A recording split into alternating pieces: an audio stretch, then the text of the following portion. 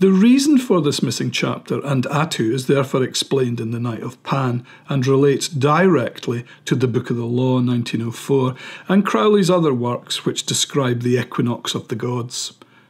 Consequently, for those who are familiar with Crowley's mischievous mannerisms and his quirky philosophical dialogues, one will quickly recognise that what he is in fact doing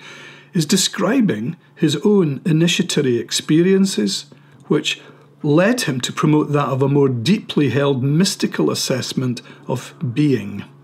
For as Crowley himself notes, that whilst writing the Book of Lies 333, it was indeed a journey into his own subconscious. In The Night of Pan, we therefore follow Crowley, and who, like Parsifal, will